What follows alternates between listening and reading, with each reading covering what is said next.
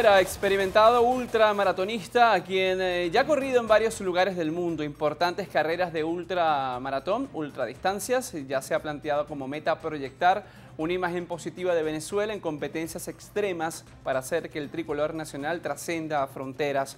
Esta vez eh, sus pasos por Asia le brindan otra alegría a este país. Vamos a ver. Pedro Vera nuevamente lo logró conquistó el tercer lugar masculino tras su reciente participación en los 160 kilómetros de la competencia Ultra Asia Race, realizada por distintas etapas del 20 al 23 de marzo en Vietnam. Vera logró arribar solo por detrás del francés Patrick Handé y del inglés David Taylor para cerrar el podio en suelo vietnamita. Pedro Vera debió superar distintas situaciones adversas antes de llegar al país asiático para enlistarse en la ardua carrera perteneciente al circuito internacional Roxin Continental Challenge. Este atleta venezolano siempre mantuvo el optimismo y el foco en su objetivo, lo cual habla de su fortaleza mental, habilidad que ha sabido desarrollar en las diversas experiencias deportivas. Los puntos obtenidos en esta serie de torneos son acumulativos y Venezuela, bajo la representación de Vera, se ubica ahora a tan solo un punto del primer lugar, producto de la participación de anteriores carreras de corte extremo como el Ultra Bolivia Race del 2014, el Ultra India Race del 2015, el Ultra Race de Noruega que contó con 160 kilómetros de recorrido y el quizás más difícil trazado de Africa Race también el año pasado con 127 kilómetros. Y nuestro compañero Samuel Clemente conversó con el ultramaratonista Pedro Vera. Escuchemos.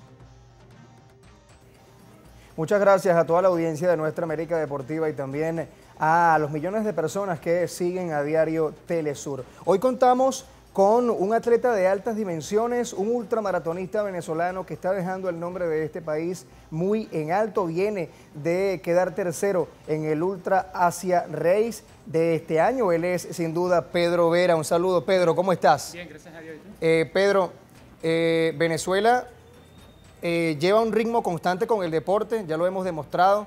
Eh, tenemos hoy en día Reinas Vinotinto, tenemos peloteros en las grandes ligas, este Pastor Maldonado también rindió frutos en la Fórmula 1. Tú no escapas de ello.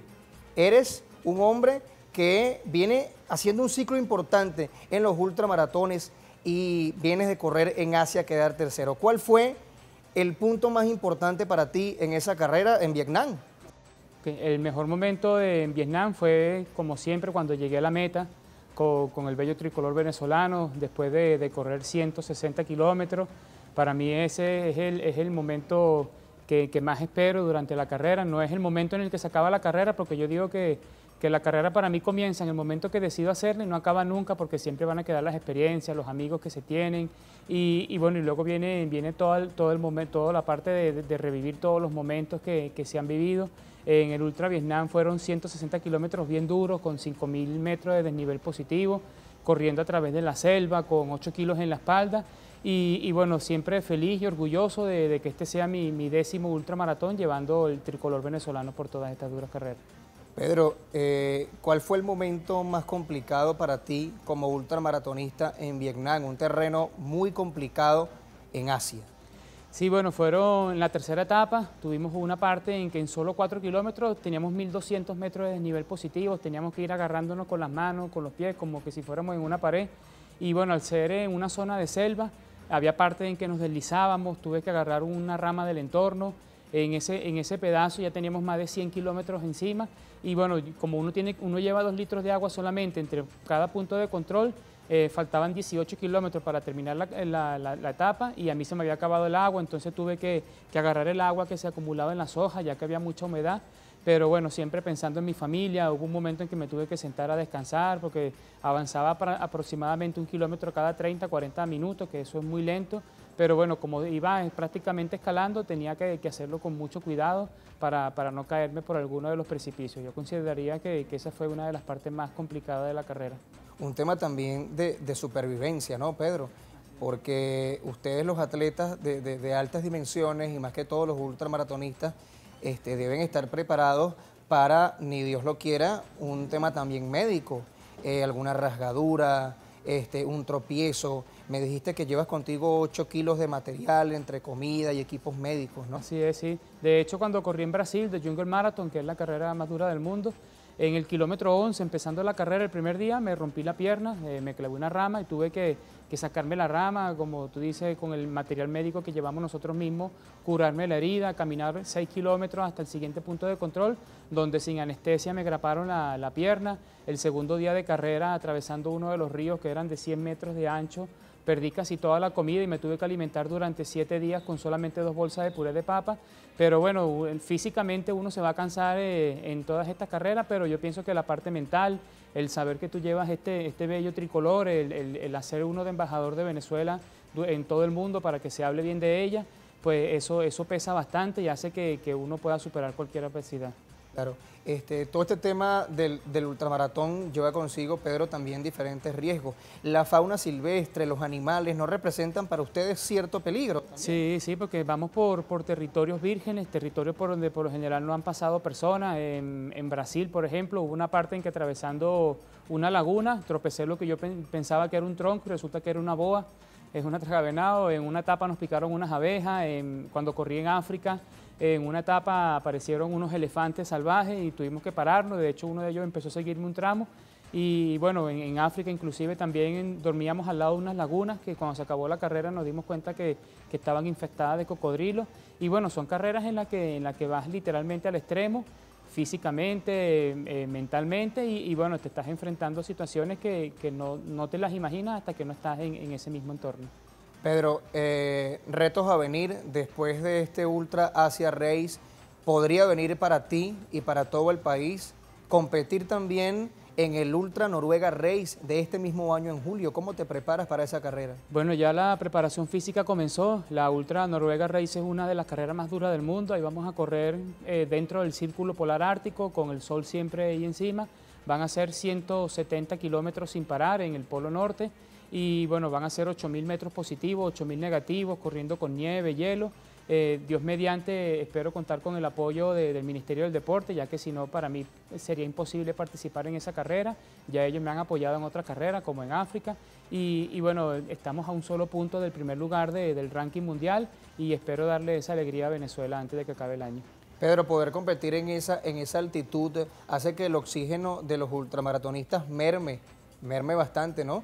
No es comparable África, no es comparable quizás los terrenos asiáticos, otras carreras donde tienes un clima más tropical, a un clima tan frío como en Noruega, como en territorio nórdico, que como tú bien lo mencionas, este, es un territorio complicado y a nivel científico está demostrado que el, que el oxígeno eh, les pega. Sí, sí, así es. El, organizador de este circuito, él busca precisamente eso, que uno sepa, que uno sea capaz de adaptarse a cualquier circunstancia, desde correr en, en África con mucho calor, a correr en Bolivia a 4.000 metros de altura, en la noche menos 15 grados, en el día 40 grados, a correr en el Polo Norte con, con temperaturas por bajo cero prácticamente toda la carrera. Y bueno, como tú bien lo dices, la parte, la parte física baja bastante, eh, la, condición de, la respiración también pega mucho, pero pero bueno, ya gracias a Dios uno tiene una experiencia. Yo corrí el año pasado ya en Noruega y más o menos sé cómo, cómo debo administrar la fuerza. Son 170 kilómetros que no necesariamente el más rápido va a ser el que llegue a la meta, sino el que sepa administrar mejor sus recursos y, la fuerza durante todo el recorrido. Yo he aprendido que, que en este tipo de carrera hay que arrancar gradualmente y, según cómo vaya avanzando la carrera, eh, dejarlo la, la, mayor parte de, la fuerza mental y muscular para los últimos kilómetros y así llegar con, un buen tiempo. Eh, Pedro, antes de cada carrera, este, ¿con, qué tiempo eh, consumes algún alimento? Es decir, la carrera empieza a las 6 de la mañana, ¿comes a qué hora antes de iniciarla? Sí, bueno, eh, por ejemplo en Vietnam, que corrimos durante cuatro días, llevábamos un mínimo de 2.000 calorías por día, entonces yo en la mañana me tomaba un batido de proteína porque hay que llevar comida que tenga muchas calorías en poco volumen para nosotros nuestra comodidad. Entonces me tomaba un batido de proteína con agua, luego cuando salíamos a correr, cada, cada 10 kilómetros o cada hora y media, según lo que llegara primero, pues me tomaba un gel, a las 3 horas me tomaba una pastilla de sal porque uno va sudando mucho y no es solamente hidratarse, sino ir reponiendo las sales que, el cuerpo va perdiendo.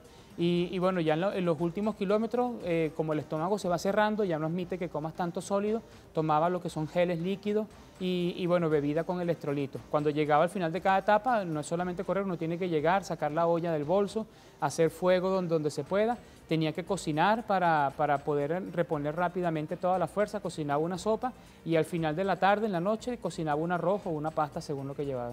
Ok, este, Pedro, mencionaste que Venezuela está a un solo punto en el rango de los ultramaratonistas, o sea, Venezuela está a un solo punto de alcanzar el primer lugar. Tu recorrido es tan amplio que eso nos permite estar en el segundo puesto. Eh, ¿Cómo se siente todo esto? Este, ¿Cuándo crees que Venezuela puede estar en el, eh, encabezando ese podio? Bueno, el circuito cierra en diciembre con la carrera de África, pero si Dios mediante, el, señor Melvin Maldonado me apoya, ya en julio en la carrera de Noruega ya tendremos el primer lugar, ya que el corredor de Argentina dijo que no iba a ir para, esa carrera, entonces una excelente oportunidad para Venezuela. Después de Noruega viene la carrera en Bolivia, eh, donde vamos a correr 170 kilómetros atravesando el Salar de Uyuni, que ahí sí va a ir el corredor de, de, Argentina, y por último la de África, que es donde se cierra el circuito, y bueno, donde yo espero, Dios mediante, tener el primer lugar para Venezuela. Ya en otras carreras yo le he ganado el corredor de Argentina, él tiene la ventaja de que él corrió en Australia el año pasado, que yo no pude hacer esa carrera, y por eso es que él lleva una diferencia de punto mayor a mí. Eh, Pedro, todas las carreras son, son complicadas y más en este extremo ya de ultramaratonista, pero ¿en cuál competición te has sentido mejor? ¿En África, en Bolivia, en Asia, en Brasil? Sí, bueno, las sensaciones en todas me, ha gustado mucho, pero en África particularmente me sentí muy bien. Eh, tuve una buena compenetración con el corredor de Taiwán, Tommy Chen, quien, para mí es el mejor del mundo. Y bueno, él en la tercera, cuarta y quinta etapa me enseñó muchas cosas. Yo digo que, que esa carrera, aparte de ser el mejor resultado que he tenido, segundo lugar eh, absoluto, eh, ha sido, fue una gran universidad para mí, ya que correr al lado del mejor del mundo y que él te vaya explicando todas las cosas que él sabe es algo invaluable. Y bueno, África me gustó también porque era todo el tiempo plano y era una climatología muy parecida a la de Venezuela, con bastante calor. Y bueno, en cuanto a dificultad, pienso que la de Noruega y la de Bolivia son las más duras. Bueno, eh, este ha sido, señores, Pedro Vera, ultramaratonista venezolano, que está dejando el nombre de este país bastante en alto en competencias internacionales de amplio recorrido y que son bastante complicadas. Regresamos con ustedes en nuestra América Deportiva. Un placer, Pedro. Gracias, un placer para mí también. Gracias a Pedro Vera, la mayor de las suertes, y a Samuel Clemente por esta gran entrevista el día de hoy para nuestra América Deportiva. Momento de establecer nuestra última parada. No se aparten que enseguida estaremos de vuelta con más. Ya venimos.